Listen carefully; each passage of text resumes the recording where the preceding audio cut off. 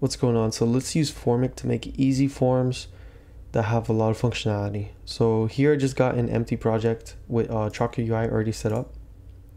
I have a theme that has um, a configuration which gives it a default dark theme, dark color mode, and some fonts by default. So, but other than that, we have an empty app. So let me just quickly create a form using Chakra UI.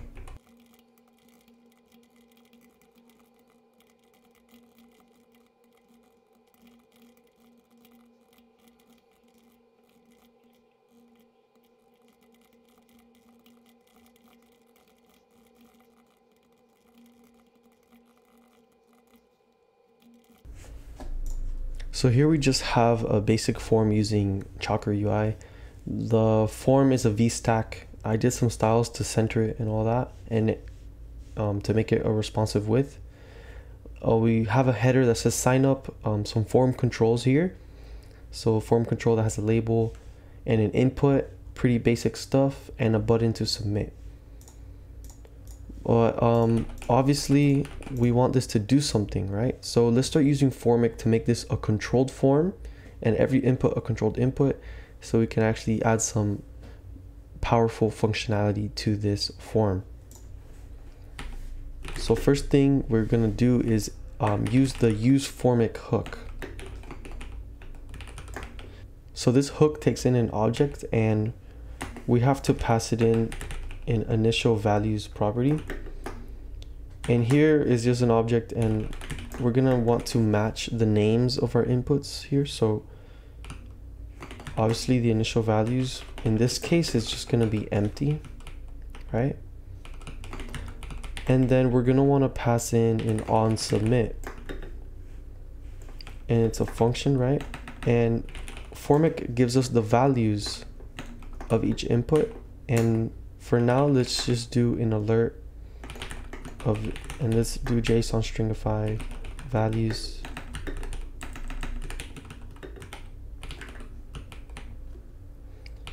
And not only does it give us values, but it has another argument that it gives us. And it's, we can call it actions. So this lets us do things to our form. So we can do reset form just like that. Now to start using this, let's go over here and on change, we want that to be formik dot handle change. And the value, we want it to be formik dot values dot username. And we're going to do that same pattern for our uh, password input. So the on change, going to be formik dot handle change. So basically whatever you did here would be formik.values dot whatever's in here. And also um, notice how we're doing formik dot. So basically this hook returns everything that we need to control these inputs. So let's try this out. This is type some random stuff. Oh yeah, and on the form, we're gonna wanna do on submit equals formik dot handle submit. So let's try this. And as you can see, it's working fine. And it's to reset our form. So this is a pretty basic controlled form, but what if we want to add some validation, some client-side validation to this form? So let's say that we, you know, we want these these things to be required. We don't want them to just submit empty stuff. And also we want to um, add a requirement that the username can let's say be it has to be at least six characters. And we can do that pretty easily using yup. Yup is a library. And formik formik implements yup really easily. So we can literally just go here. And first we got to import yup. And this is how you import yup you do import star as yup from yup. And that's how they do it on their documentation so that's how we're going to do it. Literally all you got to pass in the hook is validation schema. And this is going to be yup dot object. And this object is going to hold um, our username. And our username is going to be yup dot string. And then we want it to be a required and then if they submit it So basically like if this um if this constraint is not followed, it's gonna return an error and this is gonna be the error message, whatever we put in here. So we're gonna put username required.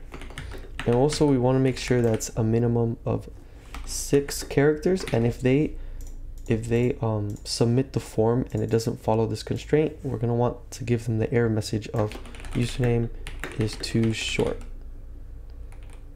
So let's do the same thing for password. Let's go in here and just change this to password.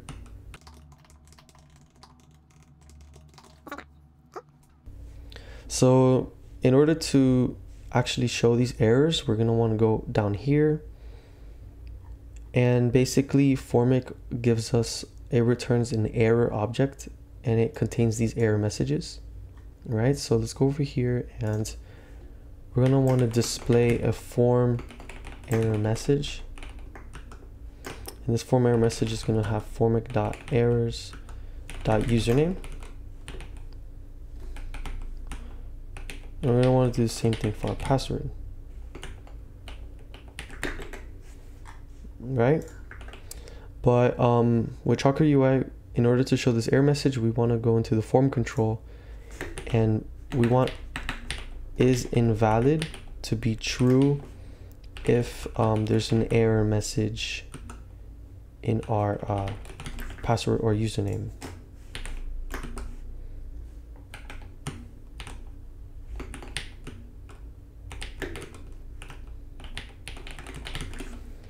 Perfect. So let's try submitting this form.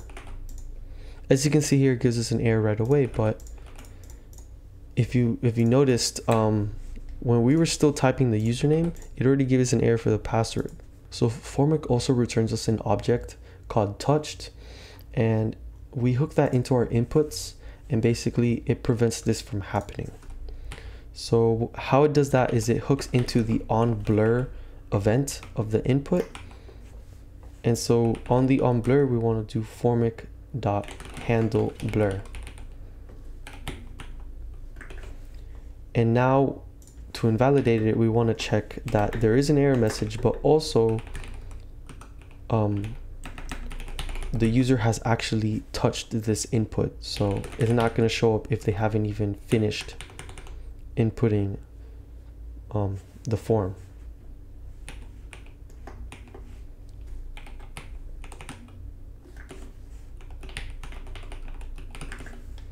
So now let's try it again. As you can see here, it's working as intended and everything's working fine. So you could really stop here. And from this point forward, we're just gonna work on making our code more reusable and portable. So as you can see, we have kind of a pattern here, like on change, value on blur, and it's kind of redundant. So luckily Formik has already thought of this and they have a hook that we can use and we can and it automatically does the on change value and on blur. So we can get rid of these things right here. And we can just use uh, formik.get field props and pass in the name of our input. I want to just structure that. And this basically does um, the on change, on blur, and value for us, so we don't have to do it. So as you can see, everything works as intended. I forgot to change this to password. But yeah, it still works as intended. Perfect. And however, we're still kind of redundant because we're just, we're literally using, first of all, we're using kind of like the same format, except instead of username, it says password. But not only that, in both of these inputs, we're passing formik.getField props. So there is an arguably better way of doing this whole thing. And that's instead of using a hook, Formik provides us with a component called Formik. And this form, uh, this Formik component basically, uh, it calls the use Formik hook under the hood and saves that into a context. And so it kind of looks like this, right? And as it passes down the context to its children. So basically, if its child is a function, it passes it down as arguments and basically it takes a render prop as a child. So let's replace this hook with the um, the component and because of that we're gonna be able to make all this um, arguably better and more portable. You'll see how. And by the end of this video we're gonna make some big improvements to this whole thing. So let's wrap our component. Let's make it a child of the formik component.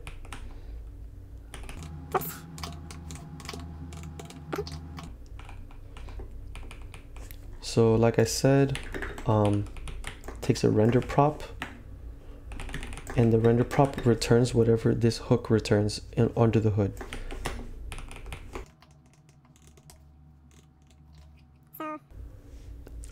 Now um, in the formik component, it takes in these things as props. So instead of passing an object, we'll just do initial values equal. And then um, that would be username and password.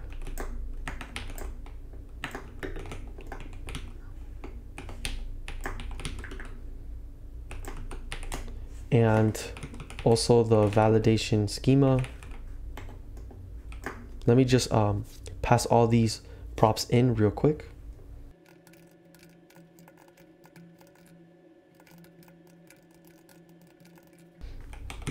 Okay, and we can just get rid of this hook completely. So as you can see here, our form works exactly the same as before. See? And everything works the same. But now, um, instead of doing the get field props, now we can use another component that Formik provides, which is the field component, which is arguably better than what we had before. So we could use the field component and it takes an as prop. Basically, we'll pass in the Chakra UI input and so what field does is it detects if its parent is a formik component. And if it is, it gets the context of the use formik hook, whatever formik saved in the context, it gets that information and automatically passes down these props using that.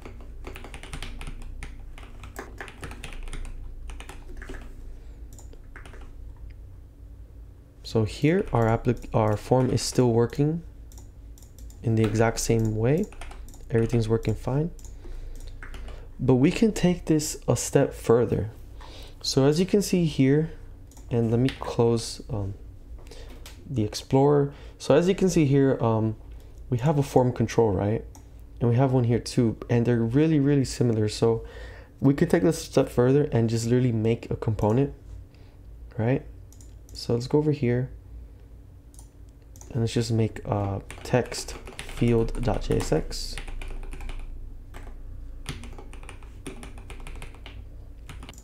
And so we can bring all of this into our text field component.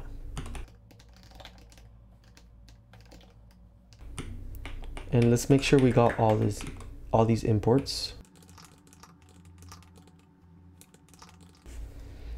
And so we can take in as props, we can take in a label and let's destructure the rest of the props. And so Formik provides us with a hook, very useful hook. And it's going to be called the use field hook. And it returns um, the field data and a meta, like the meta, which contains the errors and the touched of that specific field or input. So let's use that hook and we're going to pass it in the props. And the props should contain the name and uses the name of the input and to get it all. So here we would do meta dot error singular because you know every every field has their own meta meta variable with its own touched and all that stuff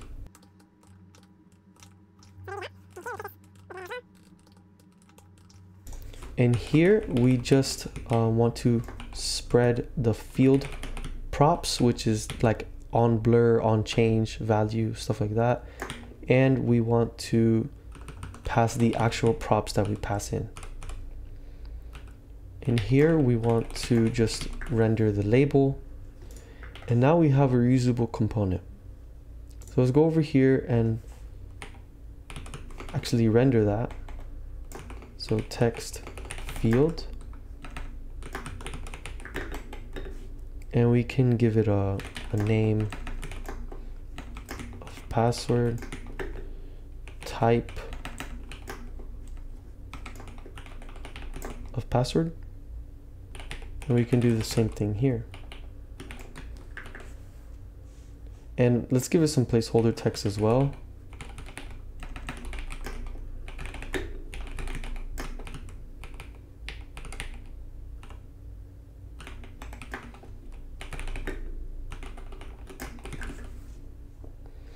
So now we have basically the same thing, but look how, how by how much we shortened this component.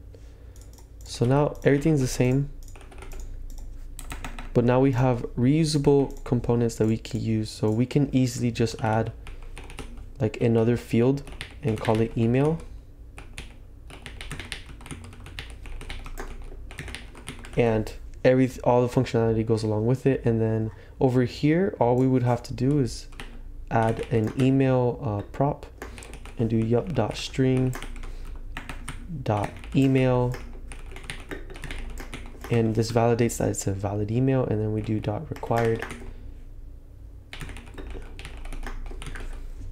And now we have usernames right? And then see invalid email. Let's just do uh, um, this and it's still invalid because we need a dot com at the end so as you, as you can see here, um, Formik makes it really easy to do all this stuff. And in only like 32 li or 50 lines of code, we did all that. So yeah, I hope um, this helps you do some forms with Chakra UI and Formik. And thanks for watching. I'll see you next time.